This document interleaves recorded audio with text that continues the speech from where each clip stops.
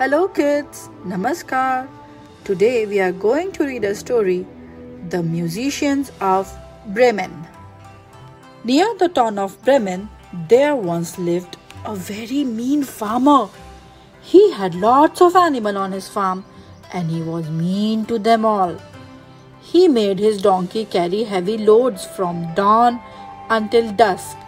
Hurry up, you lazy beast, he used to shout and he flew into rage if it tripped or stumbled. He fed his dog scraps while he and his wife devoured tasty pies and crisp golden roast. Here, you greedy thing! And you know what? When it rained, he kicked his cat outside and left it shivering in the cold. One day, the rooster overheard the farmer talking. That rooster is too old, he said to his wife. We will put him in the pot and eat him for lunch. And he licked his lips. I will get him tomorrow. That evening, the rooster stood on the fence and crowed as hard as he could. Cock a doodle doo! What are you doing? asked the donkey. It's nearly dark. I am crowing for the last time, sobbed the rooster, telling his friends about the farmer's plan to eat him.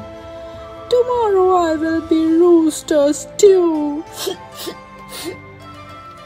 this time he has gone too far, said the donkey.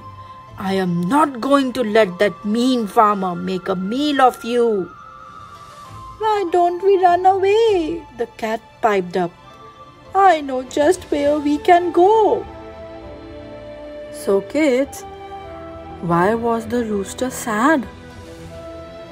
Mm, yes, you're right. He was sad because he overheard the farmer's plan to eat him for the lunch. Let's get back to the story. So the cat plan was to run away. And she said, I know just where we can go. To Bremen.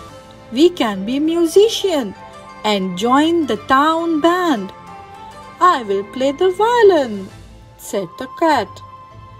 I will play the didgeridoo, said the dog. The rooster can sing, cock-a-doodle-doo. The four friends thought it was a great idea and they set off at once.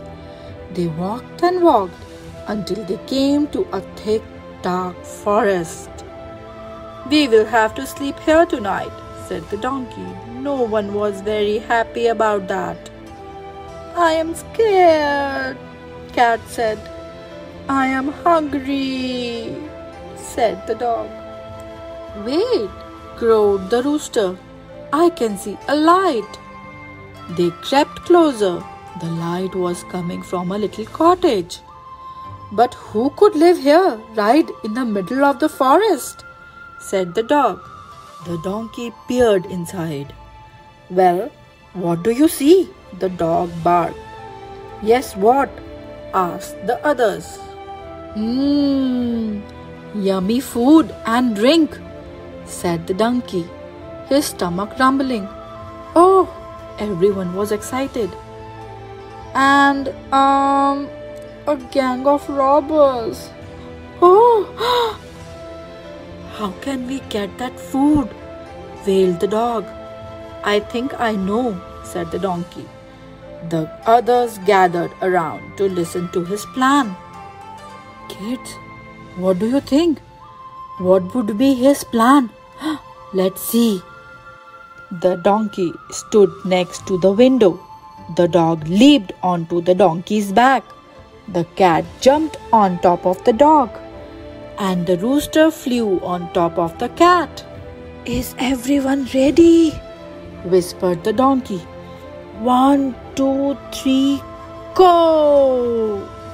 Cock-a-doodle doo! Meow! Woof woof!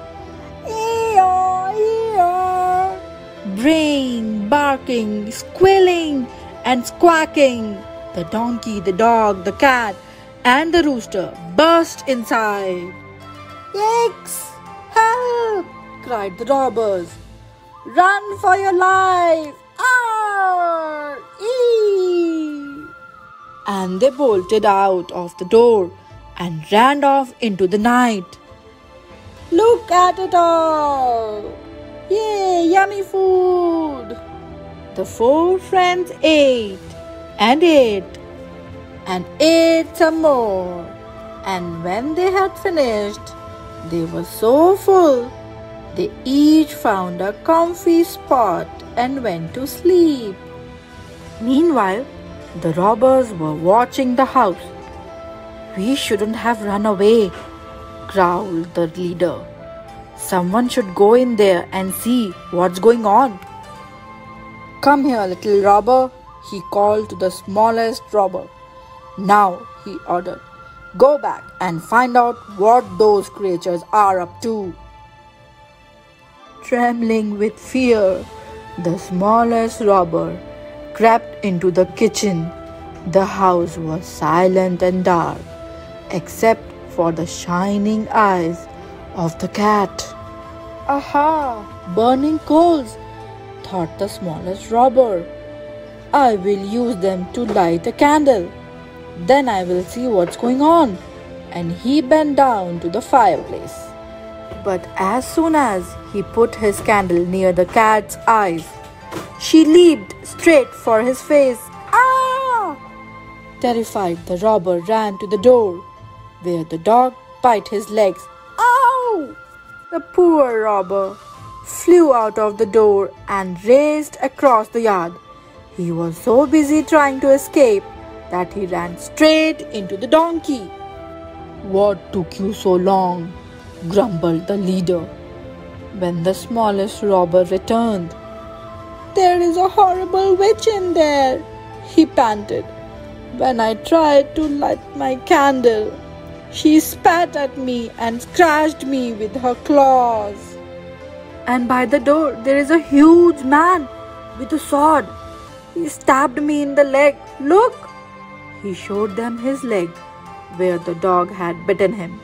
But worst of all, he went on, there is a big black monster in the yard. He beat me with his club. The, lo- the robber leader turned a sickly shade of green. Let's get out of here, he said nervously, before they come looking for us. The robbers never went back to that house again. And as for the four friends, they never did go to Bremen to become musicians. They liked the robber's house so much that they stayed there for the rest of their lives. Thank you and don't forget to subscribe our channel Story Club India.